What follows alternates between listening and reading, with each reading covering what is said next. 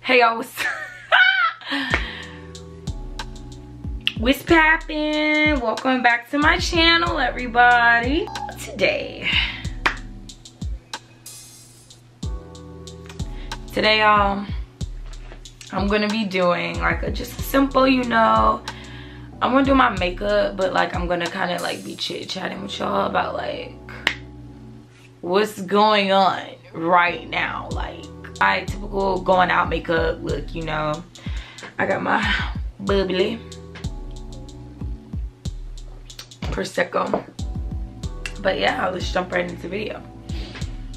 I kind of, I'm not really going to, I mean, I can kind of say what I'm using. I'm going to use the Beekman Cleansing White. Uh, one thing I want to talk about first that's like really on my chest about this whole situation is the fact that graduation is freaking up in the air. Like, it's like, dang, I done came four years down the line, going, busting my butt through school, and now it's like, boom. I don't even know when I'll be able to graduate because of this little virus going on. Like, Miss Rona need to chill out. Like, mm. this virus started out in Asia. And one thing I just want to point out is this. Just because this virus started out in Asia, that don't mean attack Asian people. Like, clearly you think people have common sense, but they don't. Which I clearly see because common sense is not that common but like that don't mean like attack Asian people. Like stupid. What is beating up an Asian person gonna do about the virus? Like the virus is still running abundant. Like it's not gonna solve any problems being freaking xenophobic. Like it's it's just not, sis. Yeah, it started in Asia, but in order for it to get out of Asia, people had to travel back and forth. Okay? It didn't just walk, you know. It latched on to somebody who was moving about and i'm gonna just let y'all that's i mean you can see who's the people who's moving about so we ain't speaking on that. Another thing of like how it started is not as clear as people you would think would understand it to be. But like this virus did not come from people eating bats guys. Like it just did not come from people eating freaking bats. This, stupid. This virus came from bats with rabies flying into a market warehouse and biting the live animals. So those live animals are now rabid in a sense and they're being killed and just the the handling of the animals is what like caused essentially the virus to spread because that meat was then served to people in the restaurant. And if that doesn't bring you any reminders um to a certain movie hint hint contagion. I don't know what does. Like our contagion is the most scientifically accurate movie to date that would explain how a pandemic or virus would spread across the world. So yeah. Those are just two things that have been bothering me.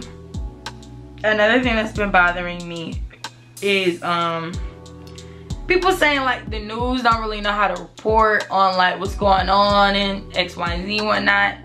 And the news is overhyping it and blah, blah, blah. And I honestly don't think the news is overhyping it. I think the news is actually doing a pretty good job of keeping people updated on what, what is really going on. Like they're doing a fantastic job. It's only one news outlet that tried to downplay the situation. And we ain't gonna speak on who that is, but y'all know y'all know who it is. That's the only news outlet that i've seen kind of just like downplay the situation. And it's and it is serious y'all. Like i'm not gonna lie. A couple weeks ago i was over there. I remember at work saying oh yeah it's not that serious like blah blah blah. Mind you i'm playing i was planning to go to new york for spring break this week. Like i was supposed to be there right now. But like i just kept saying oh it's not that serious. Like people over exaggerating it's not that serious but other people at my job was like, other people was like, no, it is that serious. And I just didn't see it. But now I see it. Like it is serious. And it's just like this, this is a new virus okay? This has never been seen before. Y'all keep comparing statistics. Y'all forget there's no statistics for this virus yet. Like, the statistics we have are ongoingly changing as we speak. Like, you can't just sit here and compare it to another virus that's been around for years and this virus has been around for less than a year. You know what I'm saying? Like, that don't make sense. Stupid. You know, and you can't sit there and do that because you don't know nothing. You don't know how, first of all, you kind of have an idea of how long it stays in your body. But you're not sure because some people are coming back and testing back positive. Now, there is a lot going on around that. They're saying that people aren't getting fully treated before they leave the hospitals. But still, like, you don't know. Like the cdc is saying be precautionary. Like you don't know. People are not taking it serious. Like you still see people going out to eat eating at restaurants out at coffee shops like just out and about like on the beach in miami jam-packed next to each other. Like no. That's not that's not practicing social distancing. People still concerned trying to go to the hair salon go get their nails done. Like no. Everything has to stop Y'all think Disney? Y'all think y'all bigger than Disney? Come on now. Let's be real. Like, y'all think y'all bigger than Disney. You crazy. All these companies do not want to miss out on all, all this money for no reason. It's not being overhyped. Yeah, most people who get the illness, you will recover. It's not like you're gonna die. But that doesn't mean, oh, go out and still get it. Like, why would, why would you still go out and get sick? Like, that's like saying, oh, yeah, I know it's uh, I'm gonna go outside and get sick, but at least I won't be that sick. Like, no, that don't make sense. We could just stay inside for a little bit, two weeks, and go outside and be healthy after they get under control. Like, why would you, why would you want to put yourself in danger like that? Like, stupid. Like, I want to be seen by people who not even finna pay your bar tab. Like, no, I'm not doing that. Let me put on some chapstick while I'm doing this. But so far, I just applied my MAC and my Fenty foundations. I put the Fenty on first and then a little bit of the MAC on top. It just, I don't know, I just recently started doing that and it's nothing about like the color. I've used each individually before, but the color is just like, or the color or nothing, it just, I don't know. When I mix the two together, I feel like I'm being extra spicy. it's like, why continue to spread something that can easily be stopped? Like, and then y'all be the main ones talking about, oh, martial law. I don't trust the government. The government shouldn't control me. You finna make the government control you right now by not just go ahead and adhering to CDC guidelines. CDC clearly saying you shouldn't be in no crowds of more than 50 people at one point. Now it's 10. And y'all still all jam-packed on the beach together. Like, that don't even make sense. Y'all still going out. Y'all waiting for y'all president. Y'all. Y'all waiting for Donald J. Trump to say, oh, Federer shut this shit down when half of y'all don't even want him in office. Like, why would you put your life in his hands like that? Like, that don't even make sense. Stupid. And he's repeatedly lying to you on TV. Like, he called a virus Chinese. When does a virus have a race? Like, have an ethnicity? Come on now. He's, he's generating that hateful tone, you know what I'm saying? We do not spread hate over here, okay? Don't be fucking rude. Are you kidding me? I swear to God. Don't be fucking rude. We don't. We just don't do that. I just put on my NARS concealer. Uh, I just feel like that's crazy that y'all are waiting. And the CDC is steady saying we don't have enough numbers to say X, Y, and Z. We don't have enough tests. CDC literally saying they don't have enough tests. But he on TV talking about oh, there's a whole bunch of tests. Like, everybody can get tested if they want to get tested. Like, you can't even, you don't even have enough to test me and I, and I feel the symptoms and I have the symptoms, you know? And it's because they don't have enough tests. They have to, like, really be very scarce about who they're going to test and who they're not. it just seems to me like a lot of the people who are wealthier are being able to get tested easier and quicker than people who aren't. And that's sad because in a world, in a country that like you know hates universal health care, now would be a pretty good time to have it. If people don't have no freaking health insurance, how you think people gonna be able to go get tested to see if they even have it? Who gonna pay for it? Another thing, who is gonna pay for these paychecks that he don't promise? Where's the money coming from? Because the whole task force that's assigned to even cover crisis like this in the CDC, their funding has been cut in 2018 for pandemic crisis prevention. It's been cut. So it's just like, where is this money gonna come from? I believe it when I see it, okay? I really believe it when I see it. I just can't process everybody in America getting checks like that when people now can't even get checks and they struggling as it is. Like they want to cut welfare, social security, all that. And yet everybody in America is getting checks. Like first y'all hated socialism. Now y'all trying to implement socialist policies. Like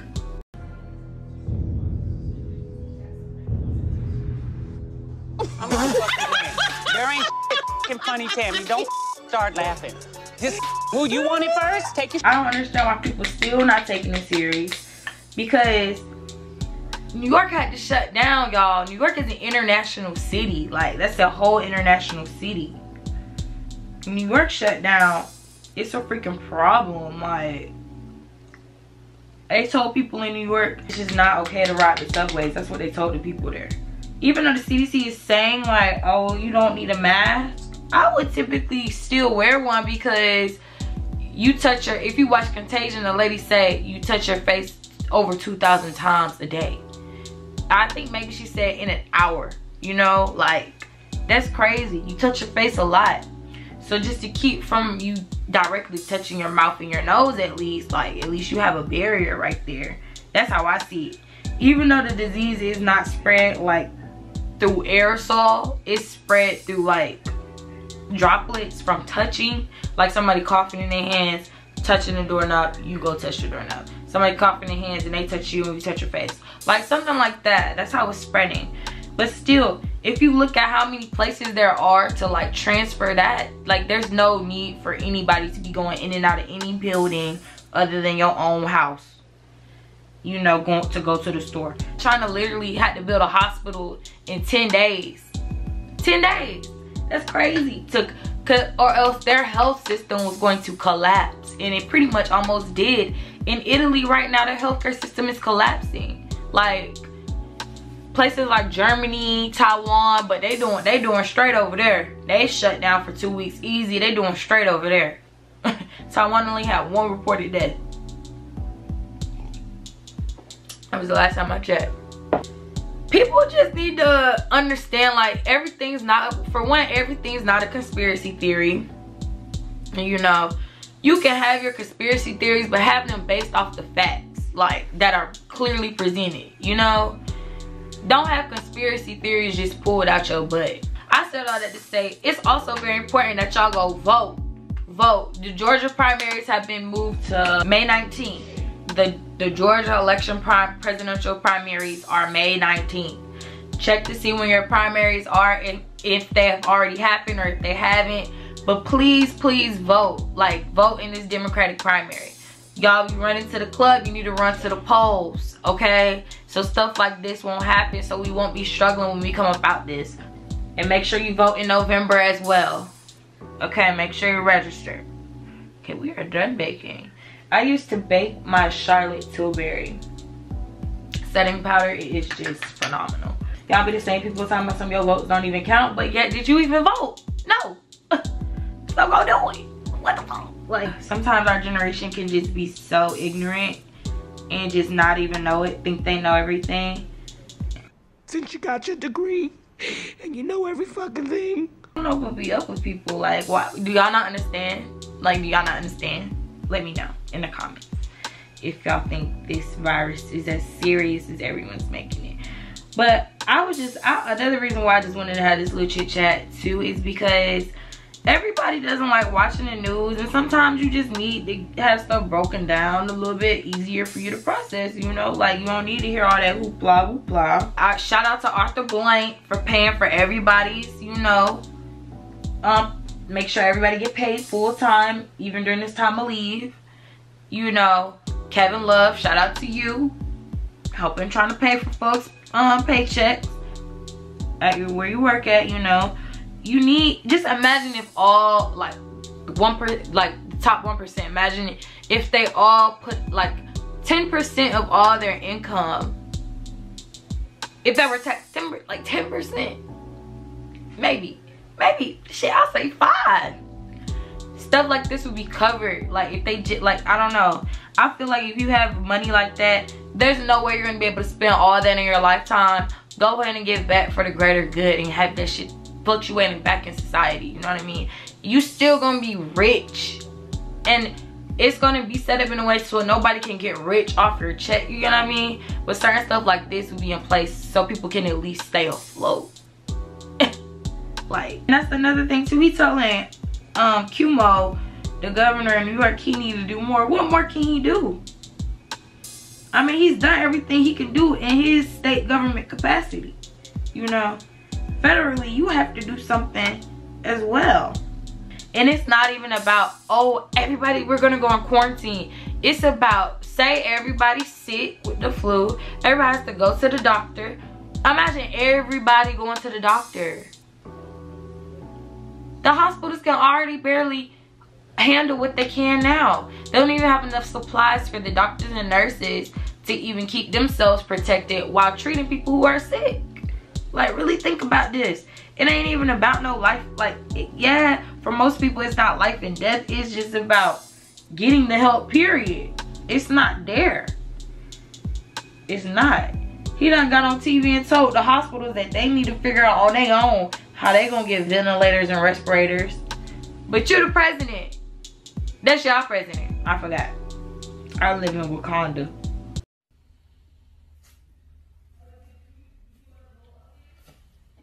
Because people think it's a joke still. People on the beach right now. People in restaurants right now as we speak. Like, people think it's a joke. And they won't be happy till it's martial law. Hopefully it doesn't get like that. Hopefully people just voluntarily get in their house so they see how many people, how the numbers are going to keep climbing. As the CDC and stuff, more tests come available, like the numbers are going to keep going up. Like the numbers in Florida went from freaking 19 to 200 in a day. That's more, and it was cases in Georgia before there was no cases in Florida. And that number in Florida has already skyrocketed it more than the cases in Georgia. And you know what? Spring break. All y'all on the beach. yeah. Think it's the game. And it's not, this is not really to cause like hysteria, you know, or panic. There's no point in panicking, like at all. It's just about being aware and being prepared. It's just really crazy.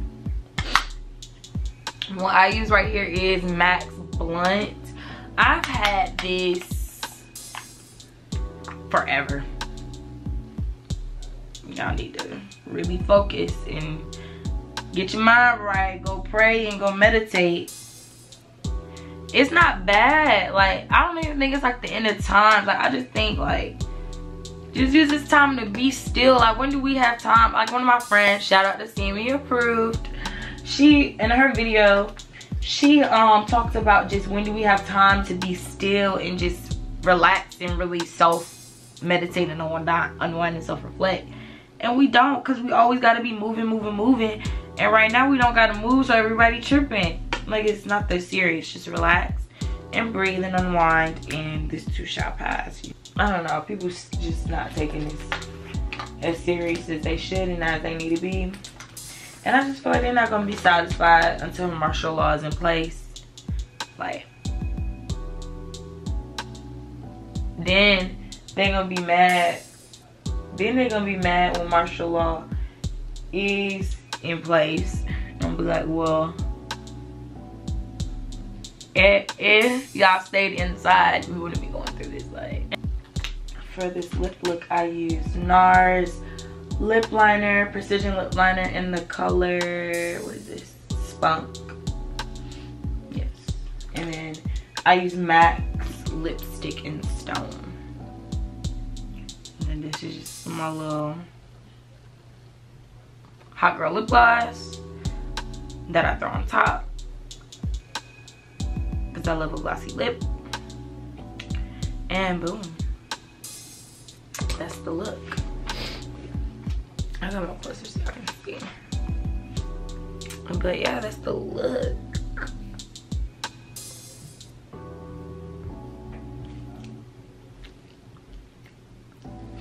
But yeah, y'all. I hope you guys enjoyed my little informative video. I kind of want to post more of these just to get like people in my generation more aware of like what's going on in the world because sometimes I feel like us being so young we think stuff doesn't really affect us and it does and our voice really does matter if we all stand together like we can band against what we don't like you know but yeah that's all my camera's so rude it cut off again. But um no that's all i have. Thank you guys for watching and tune in next time for another video. Don't forget to like comment subscribe and share because sharing is caring. Can i pet that dog? Can i pet that dog